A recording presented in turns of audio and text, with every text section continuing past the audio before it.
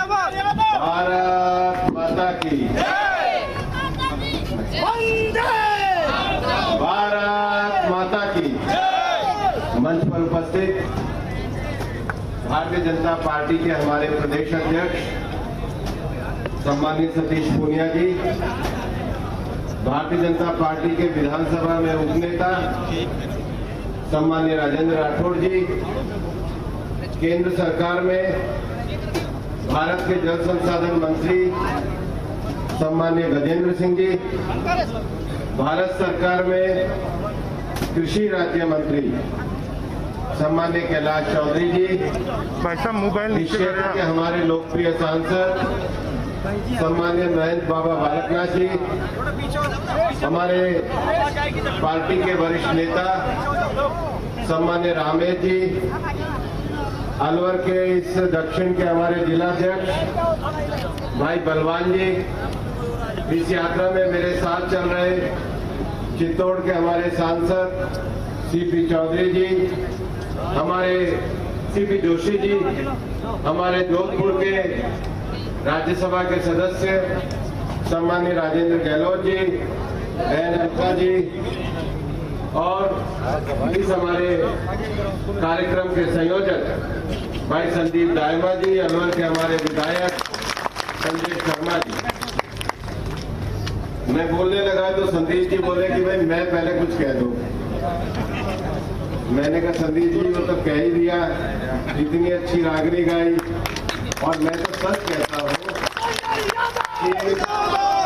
आशीर्वाद यात्रा में आके आपने मेरा मान बढ़ाया सर और मान सम्मान से मैं बहुत अभिभूत हूँ। परसों राजस्थान में झुंझुनू के खानवा गाँव में गया था और आज भिवाड़ी आया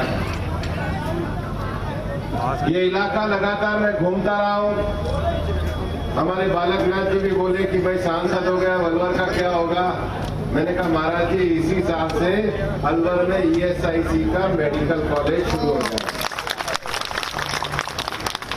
संदीप जी बोले, भिवाड़ी का क्या होगा?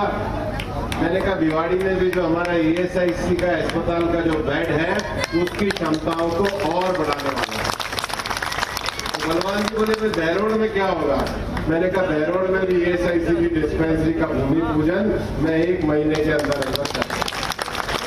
और अलवर तो मेरे को तो लगता है कि सौभाग्य के रूप में मेरे को अलवर मिला है, क्योंकि श्रम मंत्रालय में यहाँ के दिवाड़ी के विकास की दिवाड़ी में रोज़गार की संभावना की भिवाड़ी में पीएफ की सुविधाओं की जब मैं मंत्री बना और संजय जी हमारे आए और आने के बाद उन्होंने कहा कि अलवर में पहले से हमारा जो पीएफ का क्षेत्रीय कार्यालय वो खुलना चाहिए। थोड़ा- मैंने अधिकारियों के साथ मीटिंग कराई और उसी दिन कह दिया कि अलवर में अब आऊँगा तो क्षेत्रीय कार्यालय का उद्घाटन और मैं ये जानता हूँ ये अलवर हमारी वो जगह है जहाँ दुनिया का सबसे अच्छा सरिस्का है। मैन बालकनाथ जी सतीश जी सब लोग बैठे मेरे लिए तो इससे बड़ा सौभाग्य होगा ही नहीं कि मैं सरिस्का को दुनिया के नक्शे पर लेकर के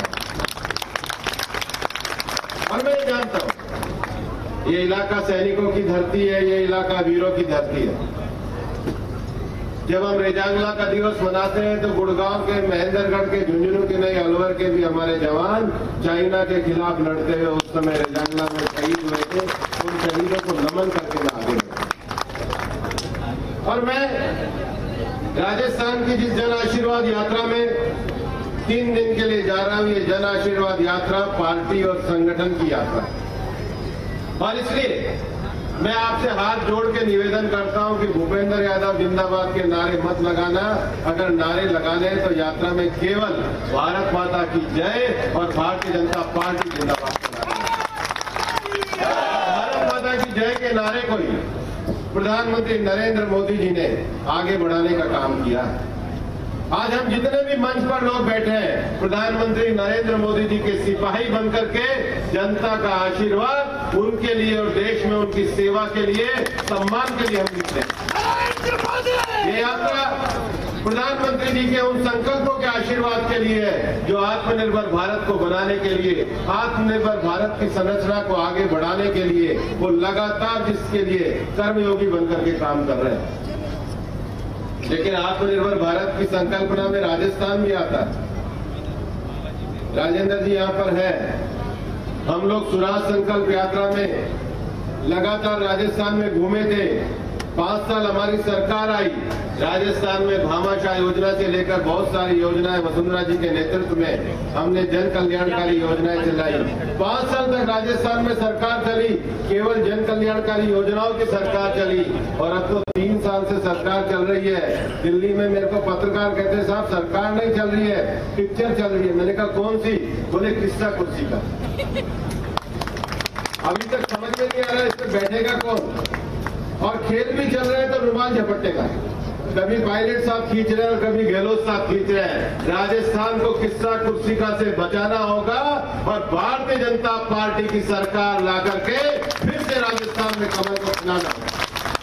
हम उस संकल्प को करने के लिए निकले हम आप सबका आशीर्वाद देने के लिए निकले हम आप सबकी सेवा करने की भावना का संकल्प लेकर के निकले मेरे मन में आपके साथ लंबी बात करने की इच्छा थी। लेकिन आज हमें शाम को छह बजे तक जयपुर पहुँचना है। और माननीय अध्यक्ष जी इस पूरी यात्रा का नेतृत्व करते हुए किसी भी जगह पे सभी जगह पे जितने भी हमारे गाँव के और इतनी बड़ी संख्या में मेरी माताएँ बहनें बैठी है मैं उनको भी हाथ जोड़ करके प्रणाम करता हूँ। बिना नारी शक्ति के आशीर्वाद के कोई भी आगे नहीं बढ़ सकता। और इसलिए मोदी जी भी इस बात मैं परसों महेंद्रगढ़ नारनौल और गुड़गांव में था हरियाणा में सबसे ज़्यादा कन्या भ्रूण हत्या होती है ये मोदी जी का संकल्प रहा और हरियाणा में भारतीय जनता पार्टी की सरकार रही कि आज हरियाणा में कन्या भ्रूण हत्या को हमने कम किया है और हमारी बेटियाँ ओलंपिक और सब जगह अपना नाम रोशन करने में लगी हुई। हमारे देहात की बेटियाँ भी आगे बढ़ के देश का नाम कर, रोशन करने में लगी हुई है और इसीलिए तो इस इलाके को तो ज़्यादा खुशी होगी कि इस बार मोदी जी ने सैनिक स्कूल में भी लड़कियों के लिए स्थान खोल के हमारी वीर बेटियों को सैनिक स्कूल में भी एडमिशन देने का विषय पूरा किया। बहुत सारे विषय मेरे मन में आपके साथ बातचीत करने के हैं, लेकिन आगे लंबी यात्रा पे जाना है। आज तो आपसे केवल आशीर्वाद लेने आए हैं। आपका आशीर्वाद हमको मिले। हमारी सामने बैठी हुई राजस्थान की पूरी टीम को मिले और टीम राजस्थान राजस्थान में वापस से कमल का निशान से पहर लगाकर भारतीय जनता पार्टी की सरकार बना के नरेंद्र मोदी जी का जो आत्मनिर्भर भारत है, उसकी संकल्पना को पूरा करे। जय हिंद, जय भारत।